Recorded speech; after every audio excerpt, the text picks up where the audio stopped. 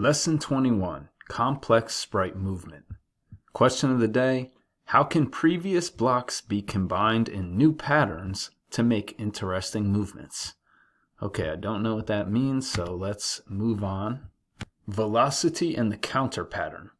Using the counter pattern with the sprite's x and y property makes a sprite move smoothly across the screen.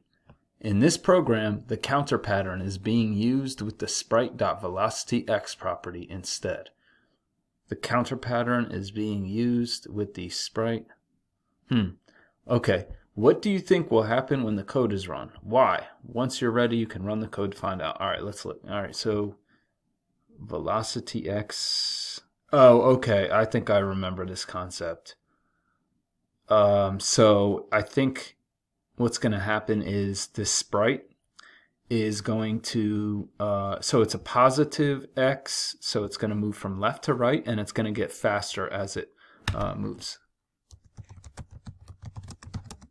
It moves left to right. Okay. Yeah, that's what looks like it's happening. Okay. All right, cool. So we were correct. Okay, exercise three, velocity in the counter pattern. This program already makes a car move across the screen, but it's going very slowly. By using the sprite.velocityx property with the counter pattern, you can change the sprite's speed during the program. Do this. Use the counter pattern with the sprite's velocity x property to make the car speed up. Okay, so says show me where, so they want us to put the code right there. I am not even going to give you the answer here because if you go back to exercise two, you're literally doing the exact same thing. Okay. So, um, here. So look at line four. Okay. Sprite one dot velocity x equals sprite one dot velocity x plus 0.1. You need to put that exact line of code here. Okay, yes, you do have to change something, but I will let you know, or I mean, I will let you figure out what you have to change. Okay, so let's move on to exercise four.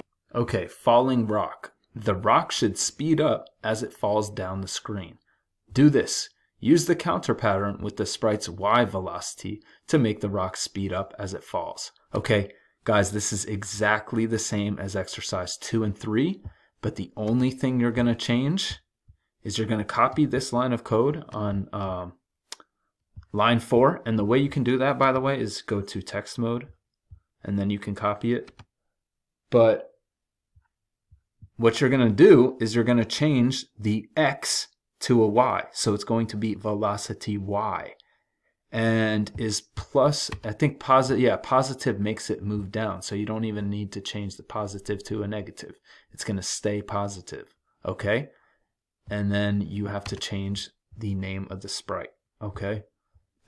So use the counter pattern, make the speed up as it falls. Okay. So I'm not going to go over exercise four with you.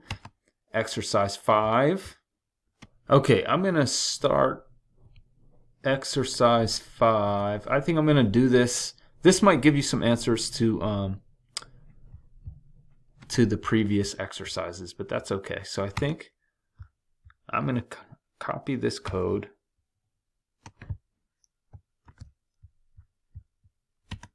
from line 4 of level or exercise 2. I'm going to move my cursor down. I'm going to put it here. Uh, what's the name of this sprite? Car.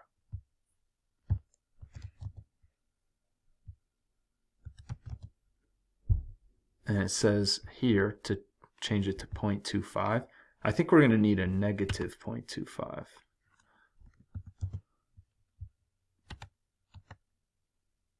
Yeah, that didn't help at all. Um, so yeah, we need to change it to a negative to make it, to prevent it from hitting the water. Cool. Slow the car down by 0.25 as it moves across the screen. So it started reversing. Okay, so that's exercise five. Now moving on to exercise six.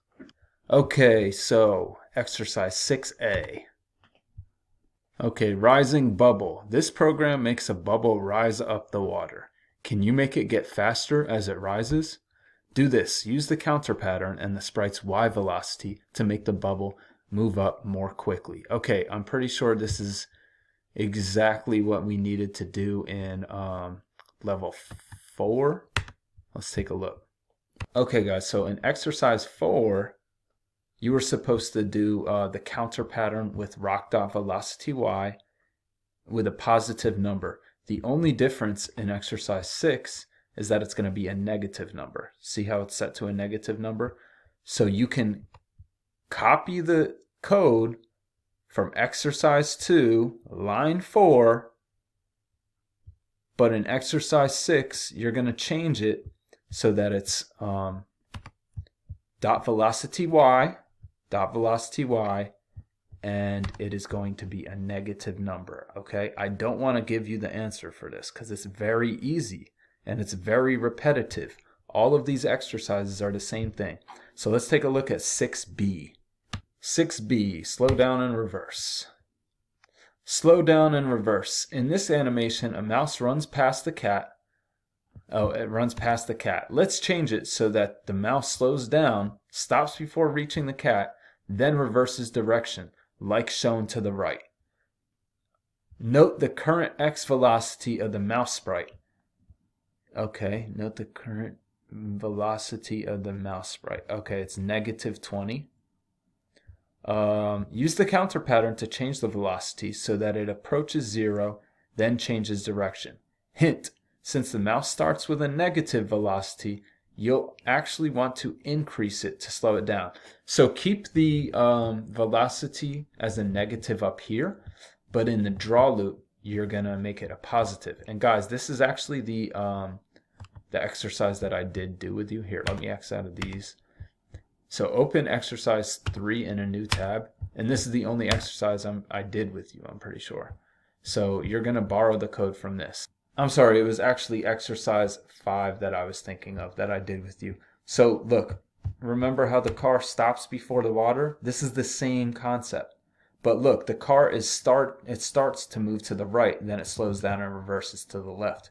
So we're literally just doing the opposite. It starts the mouse starts on the right and then reverses to the or starts moving to the left and then it reverses to the right. So what is a coder's best friend? Copy and paste, guys. So literally copy this code, paste it in here, and how are we going to reverse it? The operator, okay? We're going to change the operator to a positive, okay? So that is the answer to exercise 6b. Exercise 7. So um, Usually I don't give hints on these assessment opportunities, but I'm going to since I have kind of been making you do it on by yourself this whole uh, lesson. So it looks like gravity. The rock is thrown in the air, but it never falls back down. Do this. Use the code you practiced to make the rock slow down and then fall. Try different numbers in your counter pattern to see what you like the best based on looks. Okay, so I'm opening number five back up in a new tab because this is literally the same thing, okay? All we're to do is we're going to change velocity.x to velocity.y. And I'll show you what I mean as soon as this pops up. Okay, so we're to steal this code from line 13. We're to paste it in here and we're going to change this car to rock. And then we're also going to change velocity x to velocity y. Okay? And so let's see, the velocity y starts as a negative here. So in the draw loop, you're going to want to make it a positive. Okay? So, um, do I want to show you? I do not want to show you. Okay, so that's how you do that. And it's it's literally the same thing as exercise 6B. It's just that the mouse isn't reversing that way. It's a rock and it's reversing that way. Instead of reversing um, left to right, it's reversing up to down. Okay, same idea. So let's move on to the challenges. Awesome. And I'm going to do these challenges with you. So 8A, curve. Make the plane curve to avoid the two spikes. If you guys have played Flappy Bird, this is the same concept. Cutie. Hey, cutie. Oh man, I was talking to my baby as the video started. Sorry about that. Anyway, curve. The plane is going up to avoid the first spike, but it flies off the screen. So let's see in the draw loop, update its, its y velocity so that it pulls down to avoid the second spike. Do this. Update the y velocity in the draw loop so that it moves down uh, the plane down. Hint, the velocity starts as negative going up to go down. What direction should the velocity be? Positive to answer that. You may change the initial x and y velocity of the plane, but you don't have to. Okay, so there's a negative 9 y velocity and a positive 3x velocity. So guys, I can't emphasize this enough. We're just going to steal code, or not steal. It's really not steal. It's copying and pasting, and it's just um, it's borrowing code from your previous. It's it's like you you're building a library, okay? A library of code that you can reference. Uh, okay, so is this a plane? Yeah, the plane. So plane, plane and we're going to want to make the x a y. So if, if you were having trouble with the earlier exercises, this is going to, um, this basically is showing you the answers to, to uh, previous exercises. So I made this a positive and the velocity y is a negative 9 so we're going to change this to let's let's go positive 9 and see how that goes. Whoa, whoa, whoa. Here, let's see. Um, the plane is going to, then it flies off the screen. Hmm. Okay, so no, that's too strong. So let's just make this uh, one. That's why it's pulling it down. Ha, even that's too strong. So I guess we're going to have to do 0.25. And this might even be too strong. All right. Ah, yeah, that's a little too strong. So I'm going to go with 0.2, just 0.2. And that should look better. You want it to look good. Ah, perfect. Excellent. Okay, let's move on to 8B. 8B deceleration. Make the car slow to a halt before it goes past the top of the screen. Deceleration. Make the car slow to a halt before it goes past the top of the screen. In the draw loop, update the car's Y velocity so that it slows down. Use a conditional to prevent the car from moving backwards after it stops. Okay, make the Y velocity more downward, prevent the car. So I am going to borrow this same code, guys. So copy it, Control C on your keyboard. Uh,